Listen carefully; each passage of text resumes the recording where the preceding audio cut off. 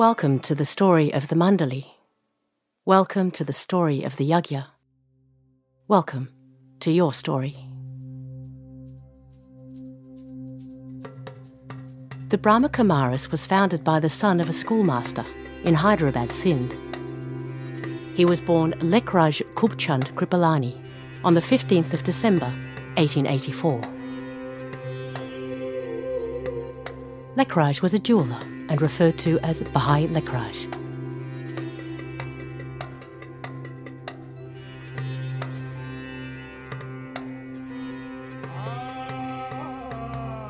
Bhai Lekhraj was a devotional man, and he would spend the mornings reading the Gita and discussing spiritual ideas with his friends. But as his interest increased further, his guru advised him to start reading the Gita to others to help his understanding. Spiritual gatherings were popular at that time, and so people in Lekhraj's community began to gather at his home to listen to him read the Gita. The gathering was an intimate one, with most members related to each other through birth or through marriage. With husbands and fathers away for long periods on business, satsangs gave women and children the chance to come together in a positive and fruitful way.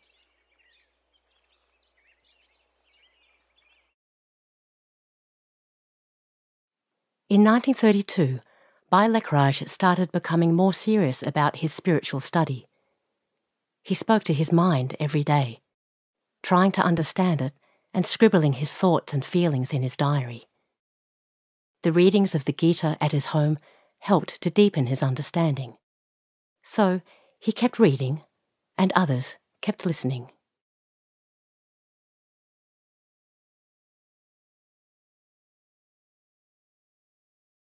In January 1934, Lekhraj's uncle died. This was a decisive moment for him, and he began to turn his mind even more deeply to spiritual matters. Bhai Lekhraj became Satyana, meaning 60 ish. At the age of 54, Lekhraj entered Vanprasth, the age of retirement.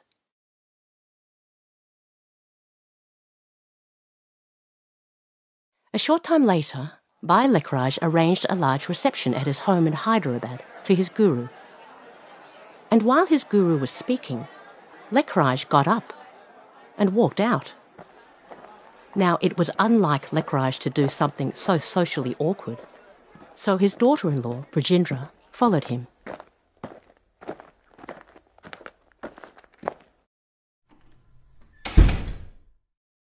And as she watched, Brajendra reported seeing light around Lekhraj, and she felt bodiless. She reported hearing the following words emerge in a whisper from Lekhraj's mouth.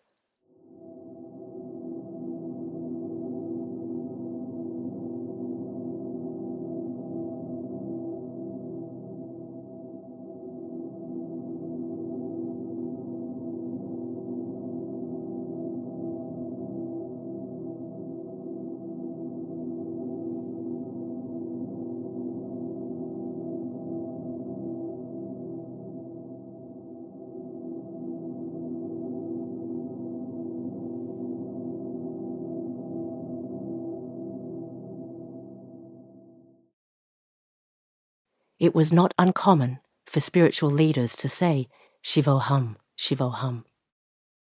But it would be many years before Lekhraj or Brajendra would understand the significance of what happened. This experience was life changing for Lekhraj, and in 1935 he travelled to Varanasi. Bhai Lekhraj was aching to understand what was happening within him and he almost compulsively drew circles on the walls of his friend's home, time and again, time and again. When Lekhraj returned, he and those who gathered with him started the practice of chanting Om. Those inside started having visions and going into trance. Those outside started calling the gathering Om Mandali. It was these experiences, visions, and deep reflections that brought the community to their first point of understanding about the soul.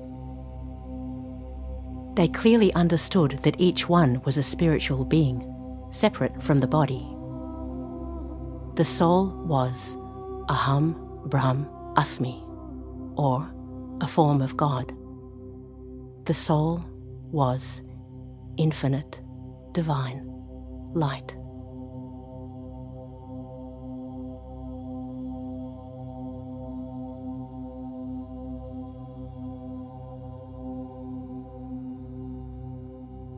In 1936, Lekhraj had three visions. One of a devastating world destruction.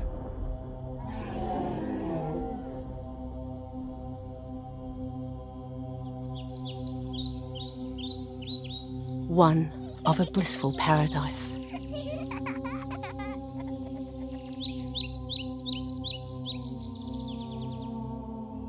and one of the four armed god Vishnu, accompanied by the words, You are this. Others also continued to have visions of divine beings, of Krishna, Vishnu, and light. The love and belonging of that time was unique and to this day remains unmatched. By then, Lekhraj was being addressed Baba, Om Baba, Bhagavan, and Mandali Mata.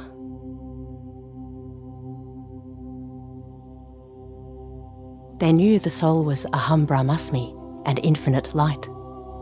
Now they understood that time went in a 5,000 year, endlessly repeating cycle of four ages. They believed that the soul and God travelled through the four castes Brahmin in the Golden Age, Kshatriya in the Silver Age, Vaishya in the Copper Age, and Shudra in the Iron Age.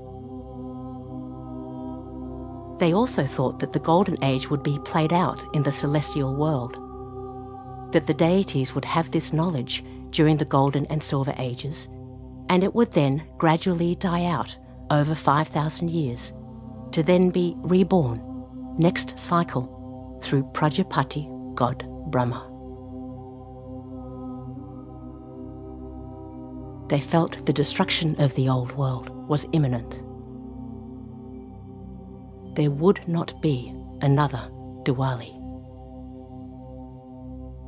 In 1937, Om Baba travelled with his family to Kashmir for a few months he left Om Mandali in the hands of the main sister, Mama, and sisters Kumarka and Manmohini, who would read Baba's letters to the class.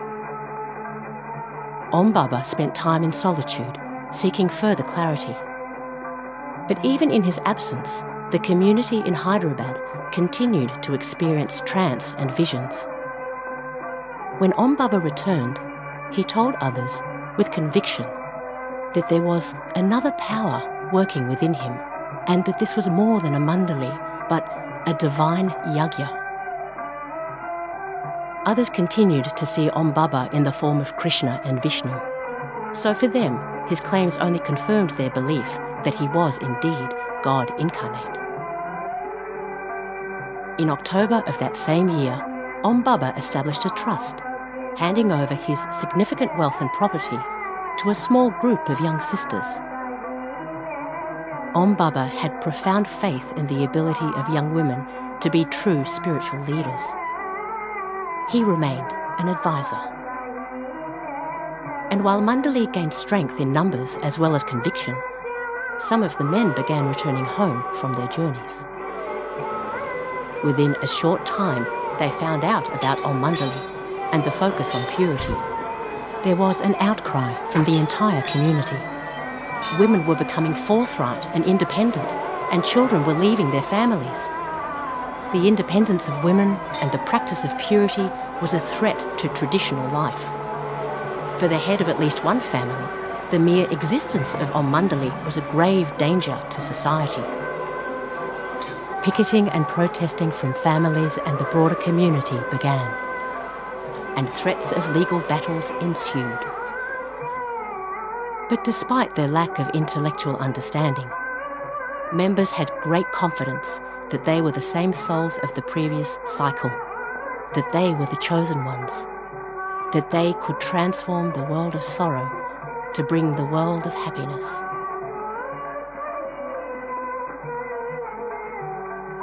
There was absolutely no doubt, no thought, and no desire to be or to do anything else. The protests turned increasingly violent, and so the community moved to Karachi. But despite the move, the conflict followed them, as did a series of court cases brought by the families to try to disband Om Mandali. That same year, Mama was cross examined by a magistrate. She gave evidence I am God, all are God, and Om Mandali itself is God. Mama explained there is no difference between male and female because all are God. There is no difference between a dedicated one and a householder because, with knowledge, both are as pure as the lotus flower. Feelings of being bodiless increased. They felt they were merging with the Brahm element, the element of light. Even the first pictures of the cycle and the tree have infinite divine light written around them. After extended legal battles, the case against Om Mandali was finally thrown out.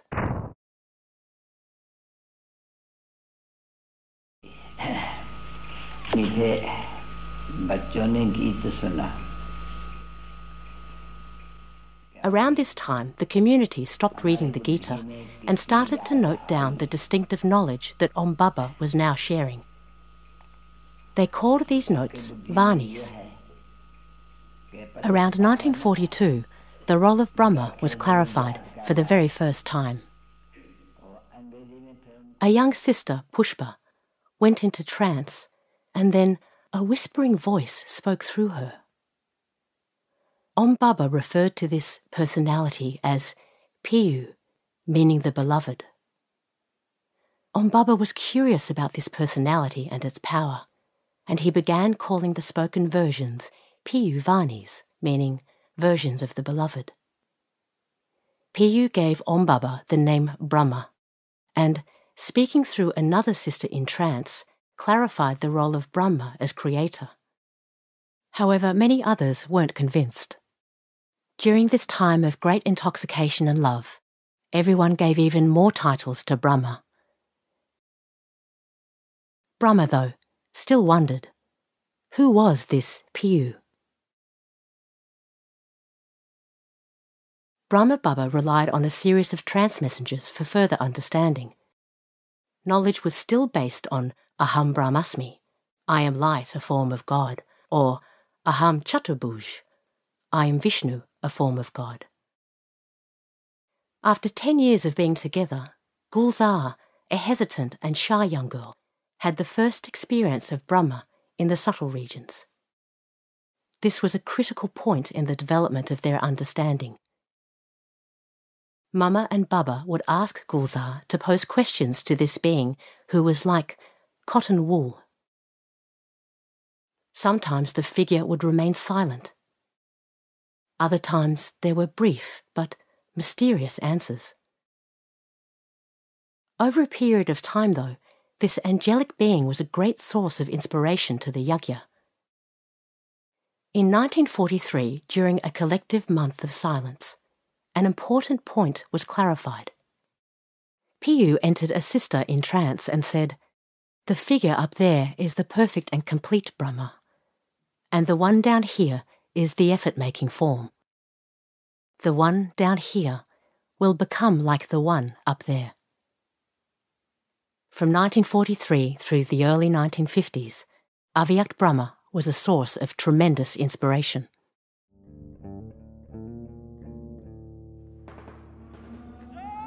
During these years, while World War II was going on, the Yagya reasoned that this was the very same Mahabharat war spoken of in the scriptures, and the old world would be destroyed in 1950. Still inspired by the Gita, they felt they were living the famous story of the Pandavas' 13 year exile. They felt there would be 13 years between the official beginning of the Yagya and the total demise of the old world.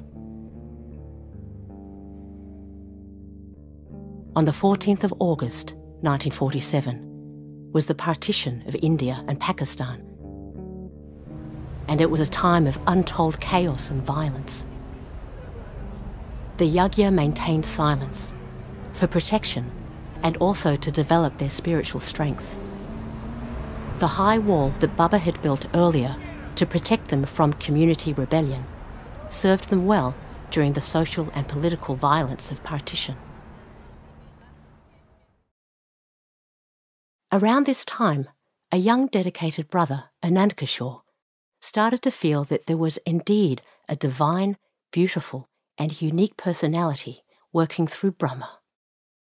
But this clarity and perception was not common. Some saw a special sparkle and light on Brahma's face and forehead from time to time. But for most, Baba was Baba. In 1949, Brahma is still in the pictures as Prajapati god Brahma. Baba, however, was becoming convinced that there was a completely distinct and divine personality at work, somehow. In May 1950, the Yagya left Pakistan. By steamer, they travelled from Karachi to the port of Okha, India. As the knowledge had recently started to become clearer, Baba directed all literature documenting their early understandings to be destroyed Many were reluctant to leave their precious diaries, so Baba told them a story that if they buried their books, they would be discovered as sacred texts on the path of devotion next cycle. It was the only way they would leave the written record of their extraordinary lives behind. Once they arrived at Okha, they boarded the train, and off they went to begin their new lives in Rajasthan.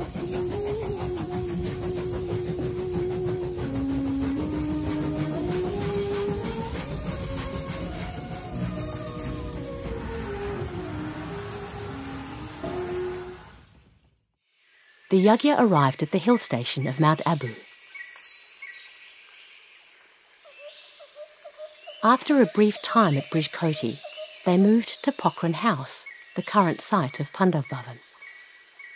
Named after the garden where Krishna played, they called the ashram Madhuban. But while everyone came, not everyone stayed. They faced a time of scarcity and poverty from a comfortable life in a warm environment by the sea, they were living with little food, poor nourishment, and cold weather at high altitudes. Many children got sick, and many others returned home to their families.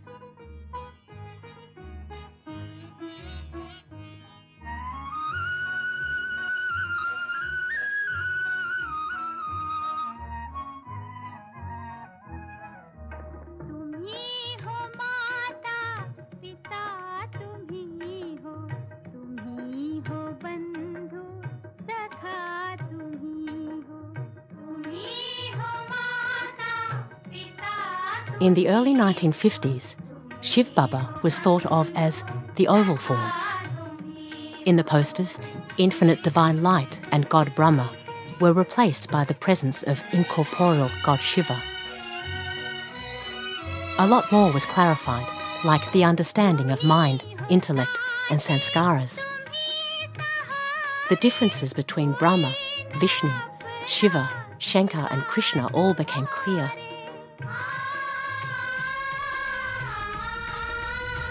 Service began in centres outside of Madhuban, and Brahma Baba became known as Prajapita, father of the people, in contrast to Prajapati, lord of the world.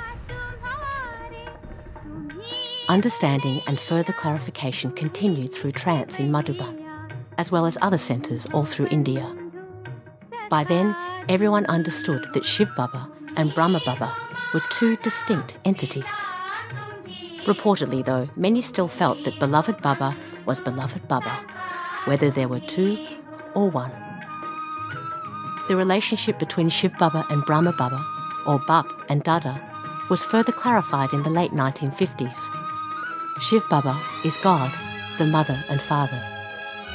Brahma Baba is the elder brother, the first prince of the Golden Age and the father of the people.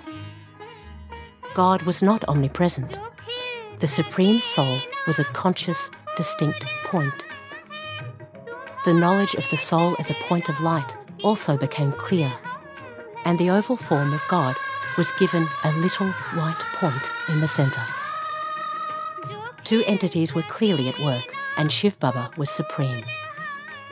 With this important revelation, Brahma Baba once again directed all records of previous knowledge to be destroyed for the second time, so that there would be no trace of wrong understanding remaining.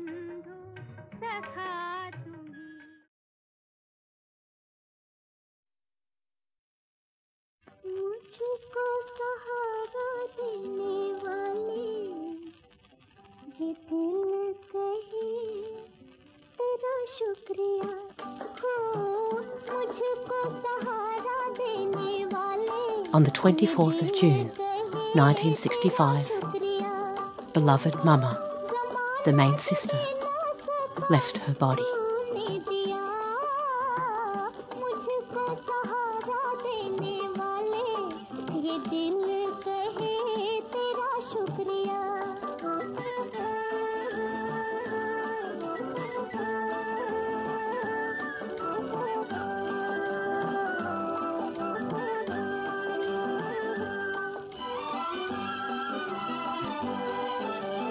Unknown to them, in just a few years, senior sisters Manmohini and Kumarka would soon guide the yagya.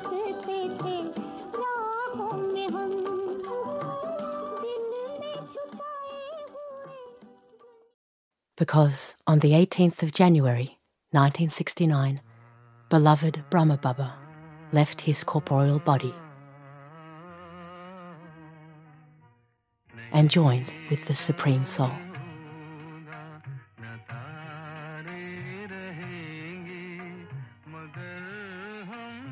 These two together are known as Avyakt Bapdada. It is these combined souls who meet the gathering today in Madhuban. And as it was said in an early Avyakt Vani of 1970, Bapdada are one, even though they are two.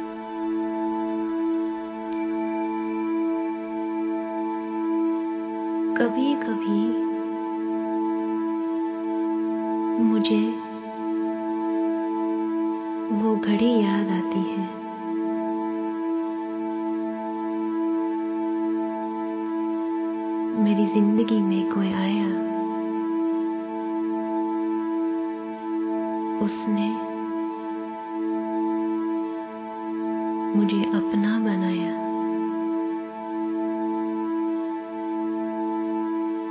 उसने मेरे दिल को गुनगुनाना सिखाया। मेरे मन को उड़ाना सिखाया।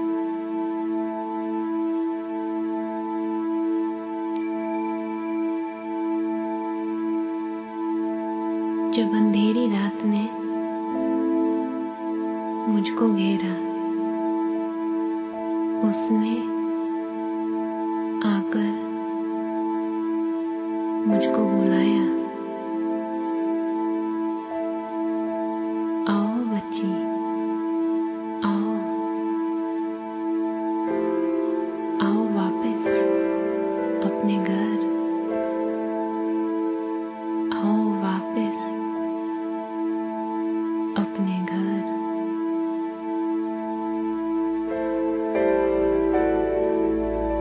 मैंने जिद भी की। मैंने मुख भी